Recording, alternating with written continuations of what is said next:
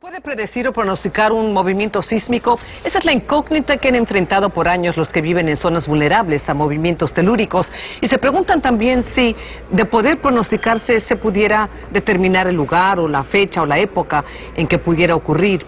Luis Mejid salió a investigar en California donde el temor a un gran terremoto es tema de todos los días. Apenas el mes pasado, un equipo de sismólogos franceses anticipó que ocurriría un terremoto de gran magnitud precisamente en el área de Nepal que tembló este fin de semana.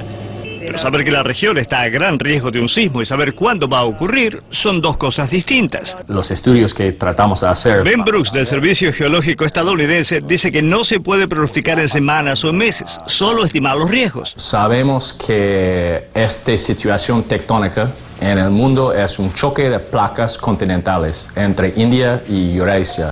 Nepal está situado precisamente a lo largo de la falla donde se encuentra el plato tectónico indio presionando contra el eurasiático. Cuando la tensión se acumula, parte de la India se mete debajo de Nepal produciendo un terremoto. Pasó por 40 millones de años y va a seguir pasando por toda la historia de la humanidad.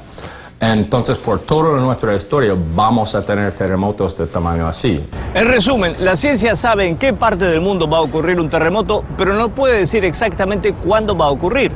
Se sabe que un terremoto de gran magnitud, quizás tan grande como el de Nepal, ocurrirá aquí, en el norte de California.